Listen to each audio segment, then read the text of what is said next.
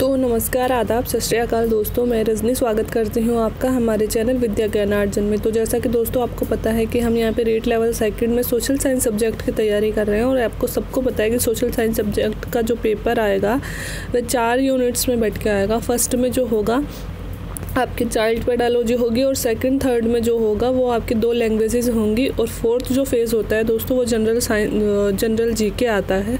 उसे ही हम social science बोलते हैं। तो जो हमारी सोशल साइंस सब्जेक्ट है, वह बारह यूनिट्स में बटी हुई है। उसमें से हमने दोस्तों यूनिट फोर्थ फिफ्थ सिक्स और सेवन्थ कंप्लीट कर ली है। यूनिट एट हम पढ़ रहे हैं, जिसका नाम है भारत का भूगोल और संसाधन। ये देखिए, जो आपके सामने यूनिट एट लिखी हुई है, भारत का भूगोल और संसाधन, इसमें हमने भूआकृतिक प्रदेश पढ़ लिए, जलवायु पढ़ ली, प्राकृतिक वनस्पति, वन्यजीव और जनसंख्या। यहाँ तक हमने कंप्लीट कर लिया। बहुद्देशीय योजनाएँ भी हमने कंप्लीट कर ली हैं।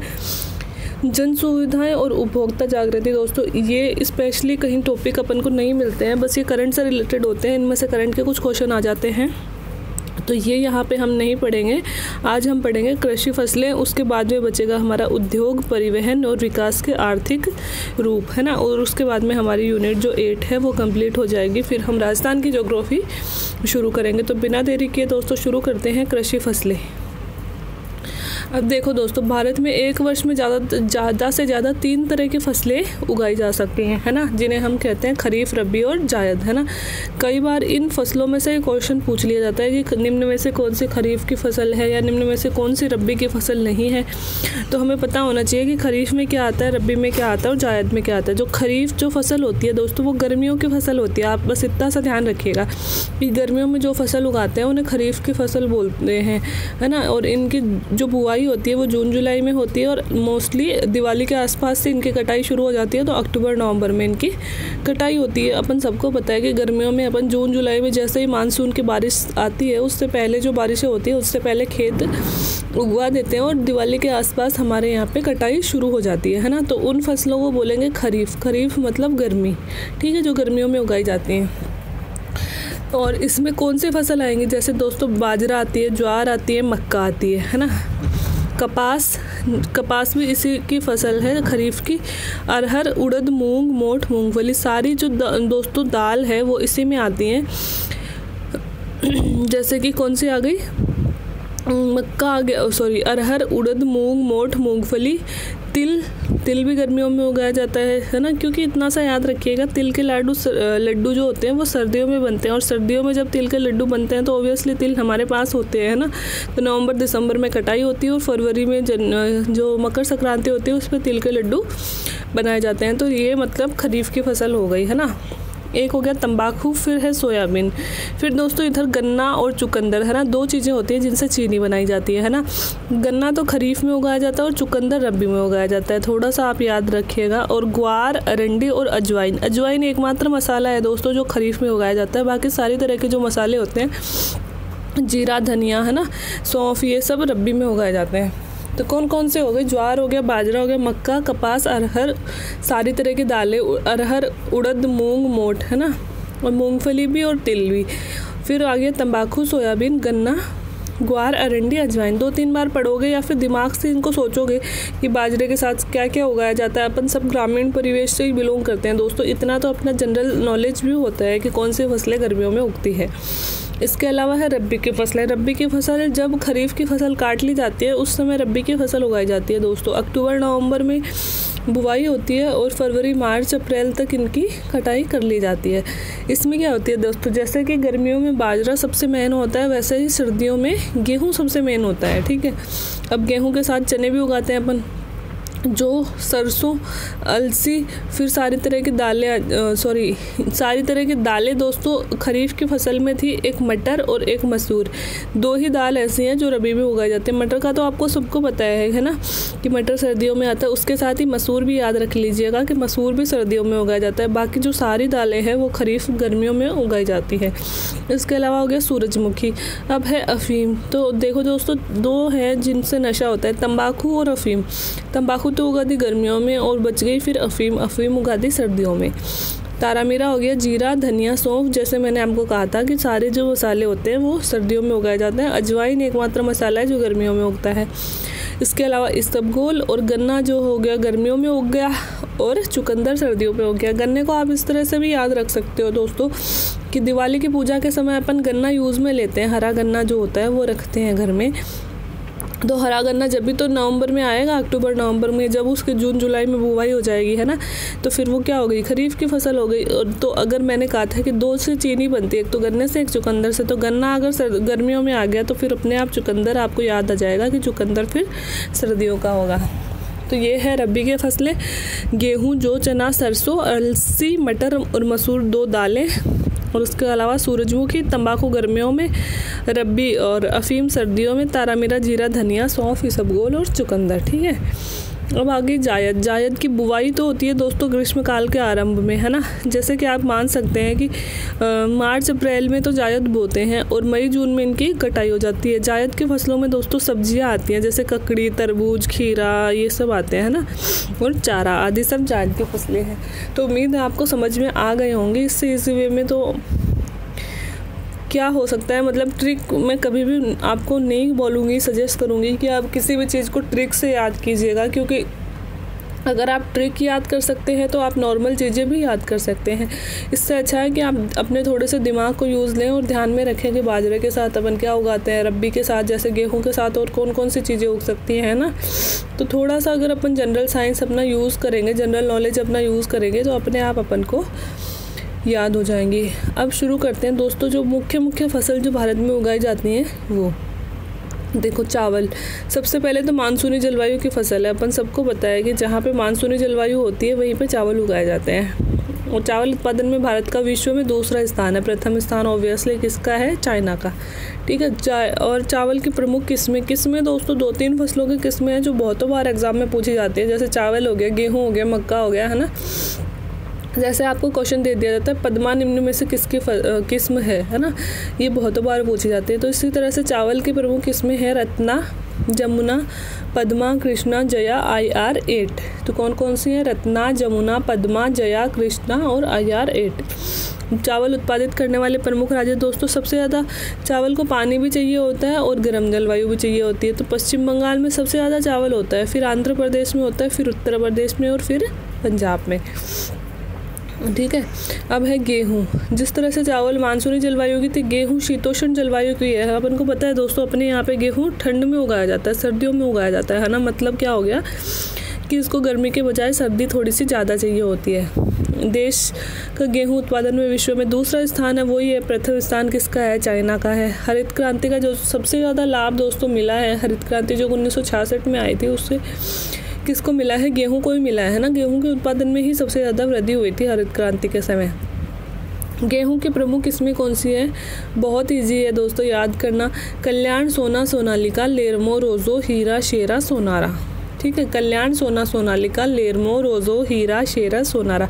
दोस्तों, पाँच छः बार अगर आपने मेरे वीडियो को ही सुन लिया या फिर अपने मन में ही दोहरा लिया, Ratna, Jamuna, Padma, Krishna, Jaya I R eight, Kalyan Sona Sonalika, लेरमो, रोज़ो, हीरा, शेरा, सोनारा, है ना? तो अपने आप आपको याद हो जाएगा और अपन को ज़्यादा, अपन सिर्फ़ तीन चीज़ों की किस्में पढ़ेंगे, एक चावल की, एक मक्का की और एक गेहूँ की, है ना? तीन तो आप याद कर ही सकते हो, क्वेश्चन भी मोस्टली इसी में से आते हैं, ठीक है? अब जो गेहूँ उत्पादन में सबसे मेन राज्य कौन सा है? उत्तर प्रदेश। उत्तर प्रदेश में सबसे ज़्यादा गेहूँ होते हैं, फिर पंजाब में होते हैं।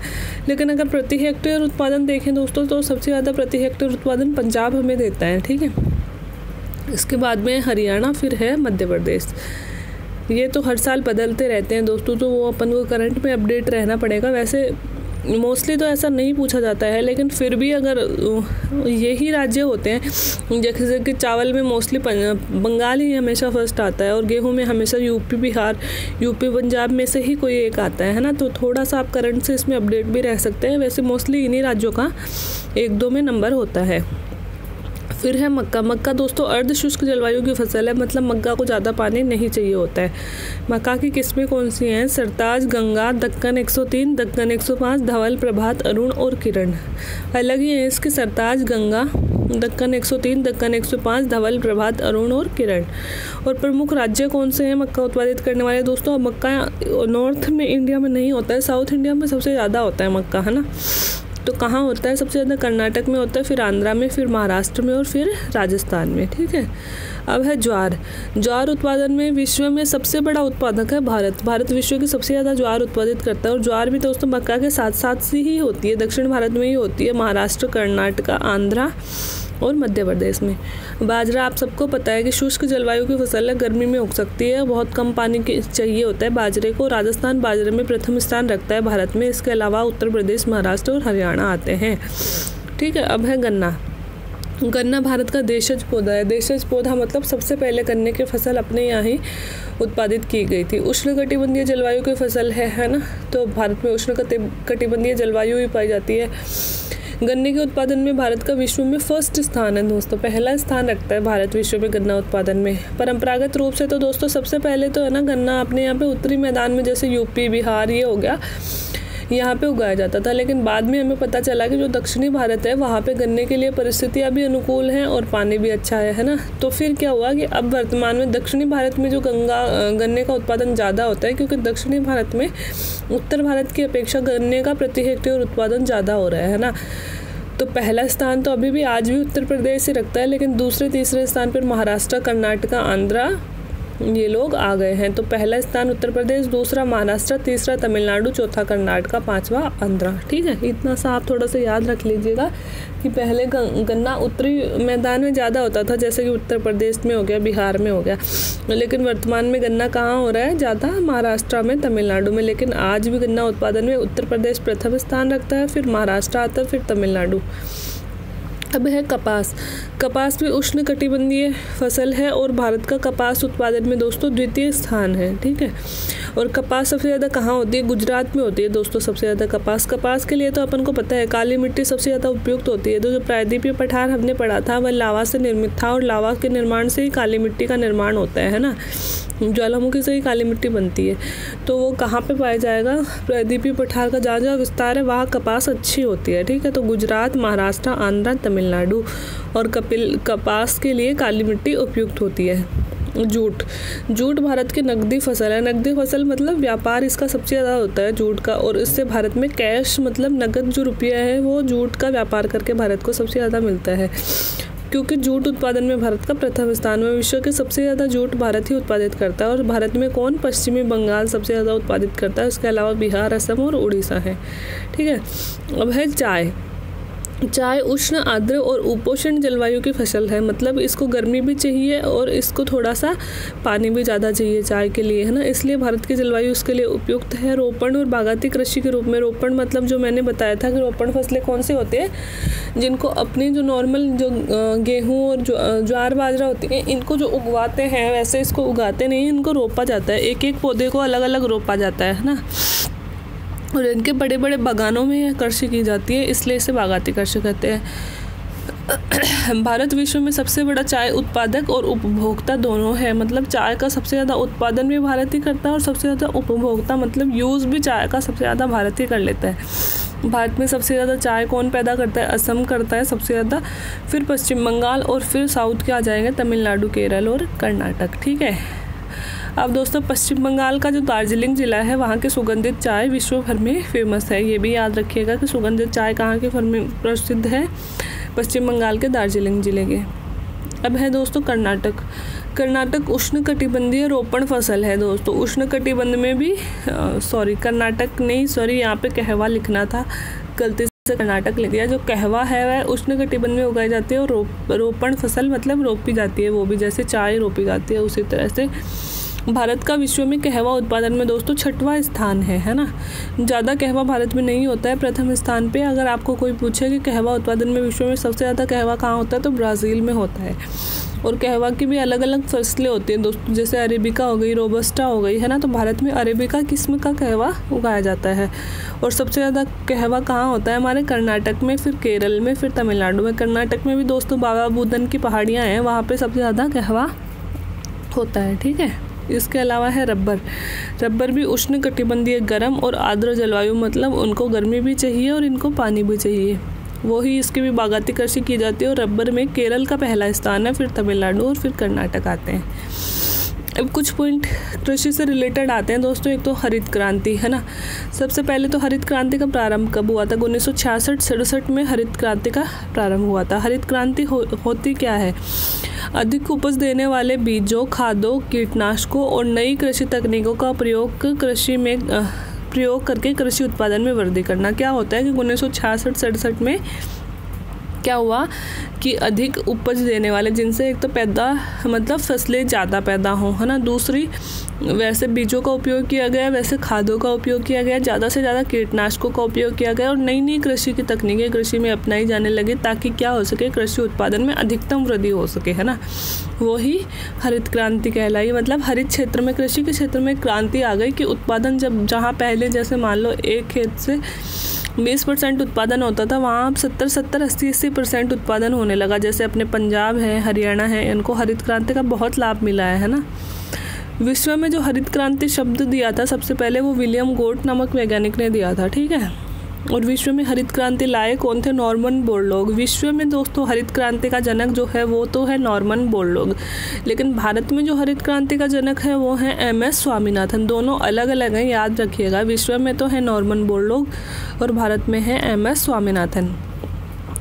अब दोस्तों, हरित क्रांति तो आपको पता चल गया कि कृषि फ़सलों में, कृषि की पैदावार में वृद्धि करना हरित क्रांति है ना? पीली क्रांति किससे संबंधित है दोस्तों? तिलहन उत्पादन में वृद्धि से पीली क्रांति। भूरी क्रांति है, खाद्य प्रसंस्करण में वृद्धि करना। श्वेत क्रांति आप सबको पता है दुग्ध उत्पादन में। नीली क्रांति दोस्तों, मछली उत्पादन में वृद्धि करने से संबंधित होती है। लाल क्रांति टमाटर के उत्पादन में वृद्धि करना, रजत क्रांति अंडे के उत्पादन में और गोल क्रांति आलू के उत्पादन में वृद्धि करना। तो ये क्रांतियाँ कई बार मिलवा ली जाती हैं। दोस्तों तो हमें अक्सर नहीं पता होता है, इसलिए मैंने यहाँ पे नोट बना के ये चीज़ें लिखी है। और एक और बात है कि कुछ कृषि अनुसंधान एग्ज़ाम्स में कई बार पूछे जाते हैं। सबसे पहले तो भारतीय कृषि अनुसंधान संस्थान है कहाँ पे? जो संपूर्ण प्रकार की कृषि से रिलेटेड है, वो तो है नई दिल्ली में, दोस्तों, है ना? अब है भारतीय गन्ना अनुसंधान संस्थान कोयम्बटूर तमिलनाडु में है दोस्तों। गन्ना अनुसंधान संस्थान कहाँ है? दक्षिणी भारत में है कोयम्बटूर तमिलनाडु में। भारत भारतीय तंबाकू अनुसंधान संस्थान कहाँ है? राजमुंद्री, आंध्र प्रदेश में।